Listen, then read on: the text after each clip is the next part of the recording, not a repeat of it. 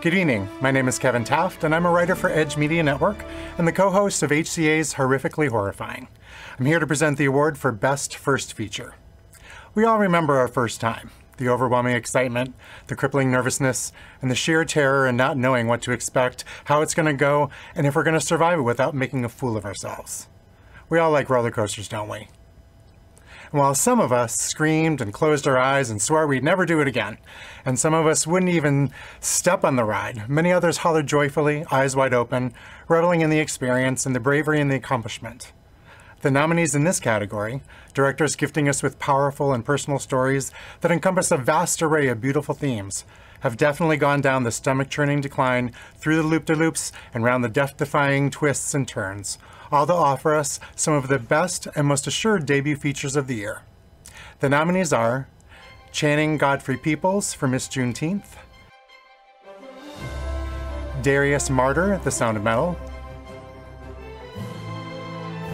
Emerald Fennell, Promising Young Woman. Radha Blank, 40 year old version. And Regina King, One Night in Miami. And the winner of the HCA Best First Feature Award goes to.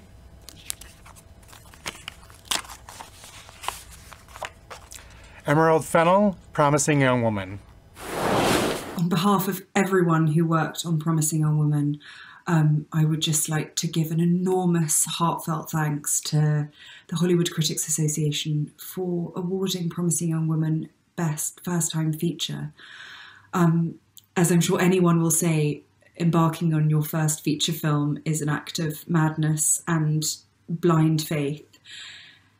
And every single person who worked on this film from the incredible cast, Carey Mulligan, the amazing crew, the wonderful producers, they all had the same blind faith and madness. Um, and so to have it not only acknowledged but um, rewarded by such a prestigious institution and is just really wonderful. Um, I'm truly, truly, truly grateful. And so, a huge thank you on behalf of all of us um, at Promising Young Woman. Um, thank you so, so much.